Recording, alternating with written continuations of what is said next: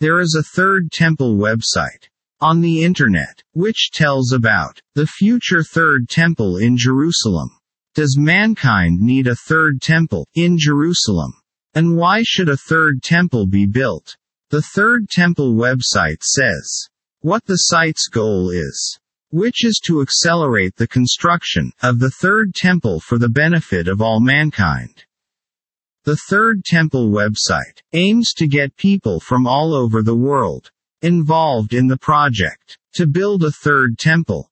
The Third Temple website suggests how the Third Temple will restore the oneness of one God for all mankind, and if you participate in supporting the Third Temple, then you are working for world peace among the nations. The Third Temple website says that the divine presence will be reflected and present in the Third Temple, the Third Temple website suggests how the Third Temple is a matter of universal brotherhood.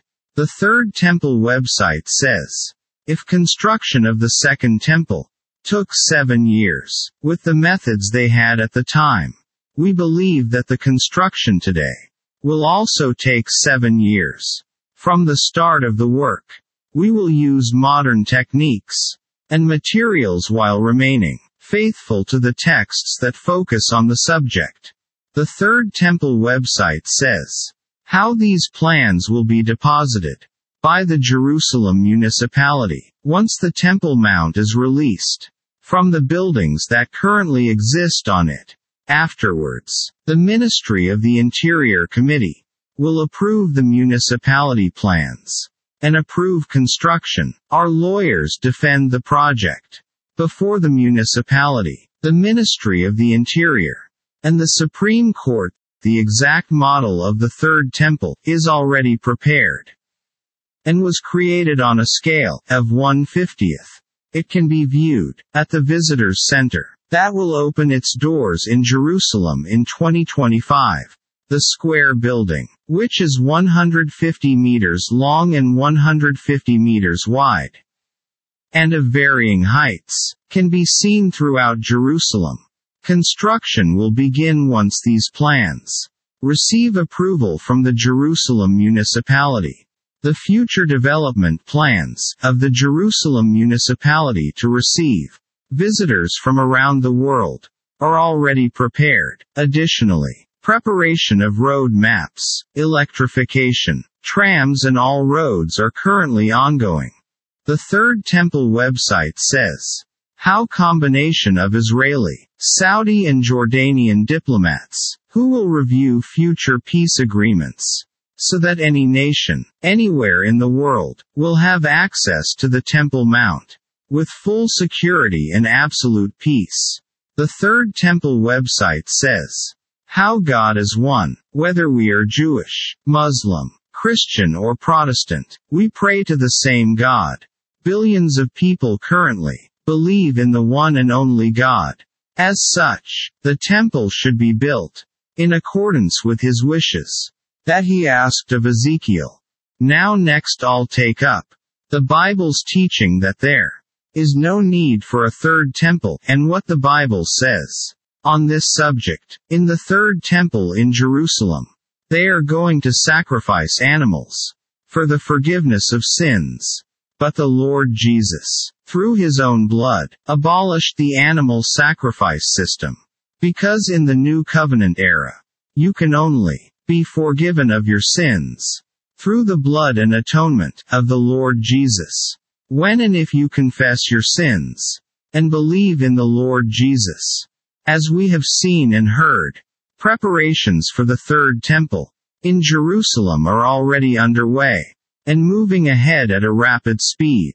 When the world sees how the third temple is being built in Jerusalem, then the false teaching of many believers about the order of the coming of Jesus and the Antichrist will also be exposed. According to Bible prophecy, the world will be sorely deceived when the false peace is made.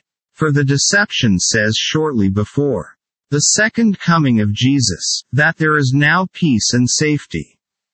But this is a false peace. that will lead to great destruction and deception. We are very close to the time of the second coming of the Lord Jesus. Ezekiel of the Bible wrote and spoke of the temple as a foreshadowing and symbolic teaching. That was fulfilled through the Lord Jesus. Ezekiel chapter 45 and 21 to 23. During the millennium in the millennial kingdom, teaches a completely different way of celebrating Passover than what God had commanded. During the Old Covenant, during the millennium, the seven-day Passover feast is to sacrifice to the Lord seven days seven unblemished bullocks and seven unblemished rams, plus one goat as a sin offering. Every day, seven days, during Passover. Many Jewish rabbis have taken issue with the book of Ezekiel because many of the teachings in the book of Ezekiel are contrary to the Old Covenant laws and, for example, the sacrificial system for the Feast of Tabernacles and Passover is completely different from what the Bible teaches in the Old Covenant laws. These differences between the book of Ezekiel and Numbers chapters 28 and 29 are so great and significant that many rabbis have argued that the book of Ezekiel should not be included in the Bible, the Word of God at all. The only answer to this problem of the Jewish rabbis is that the book of Ezekiel's description of the Passover sacrifices, for example, is a prefiguration and symbolic teaching about the Lord Jesus. Why is the Passover of the book of Ezekiel quite different from the Passover of the Old Covenant? Because Ezekiel chapter 45 and verses 21 to 23 are a symbolic teaching, teaching about the once for all, eternal and perfect sin offering of the Lord Jesus, and therefore speaking through two testimonies of two seven sacrificial animals. A metaphor for Jesus, which is number seven tells of the perfect sin offering and the perfect and eternal atonement of the Lord Jesus. The one sin offering for seven days. For the whole Passover, described in Ezekiel chapter 45 verse 23, is a parable of the perfect sin offering of the Lord Jesus, which by God's decree abolished all other sacrifices, because the sin offering of the Lord Jesus is the once for all eternal perfect and final sin offering. Since the Passover of the millennium in Ezekiel chapter 45 is completely different from the Passover of the Old Covenant period, and the symbolism of the seventh and the number one in Ezekiel chapter 45 tells us that it is a metaphor, because the sin offering of the Lord Jesus is perfect and eternal and the fulfillment of the sacrifices that eternally abrogates all other Old Covenant sacrifices. The millennial temple is a parable, whose fulfillment is the Lord Jesus, which itself is the millennial temple, and all the millennial animal sacrifices are a symbolic teaching, whose fulfillment is the Lord Jesus. The millennial era's different ordinance concerning Passover from that of the Old Covenant, also proves that the animal sacrifice system, based on the Old Covenant order, will not be restored in the millennial kingdom, because the Bible's teaching on the temple and the animal sacrifices of the millennial era are a parable, the fulfillment of which is the Lord Jesus. Therefore, no animal sacrifices of any kind will be performed in the millennial kingdom. True peace with God, and true brotherhood with men, can only come through the blood, and the atoning work of the Lord Jesus. The Bible says, that the gods of all nations are idols, and only the God of the Bible, is the true Almighty God. The coming Third Temple, in Jerusalem is an ecumenical deception, culminating in the appearance, of the Antichrist when he comes to the third temple, to proclaim his own deity, and say he is the Messiah of the world. In reality, The Antichrist is a deceiver and the embodiment of satanic evil. The Lord Jesus will destroy the Antichrist at his second coming, and many of the Antichrist's followers will die in the coming of the Lord Jesus. Through the glory of God's holiness, the Antichrist will meet his death and end at the second coming of the Lord Jesus.